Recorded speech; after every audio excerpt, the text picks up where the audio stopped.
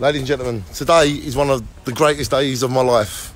I listen to Jeremy Vine every single day, and I think he's an amazing man.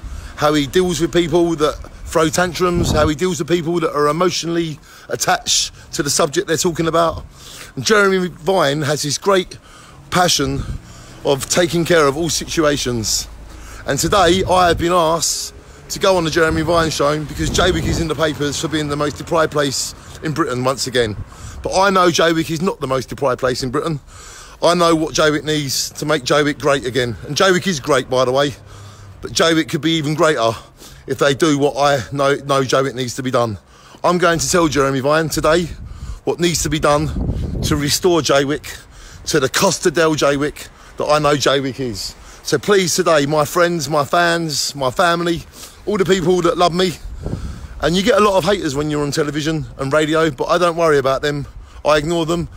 We must go on Jeremy Vine today. We must go on Jeremy Vine and give the real story of Jaywick.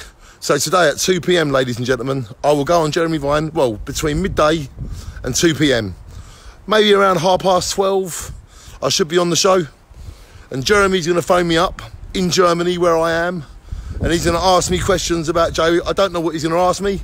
So it's totally off my heart. I don't plan these things. I don't have a bit of paper that I read from and say this is the answer because it's all in my heart. When you speak from your soul and your heart, you don't need a script. I will naturally answer the questions that are asked of me and I will say what needs to be done to restore the Costa del Jaywick. So, ladies and gentlemen, please shine on together and let's give Jaywick the voice that I always wanted to. The reason I created the Jaywick Sounds Happy Club was to give Jaywick a voice. And when people keep saying that we are deprived and we are poverty, then I do not agree with them. Jaywick is an amazing place with amazing people, and we need to get behind each other because together, together we stand, and divided we fall. Shine on.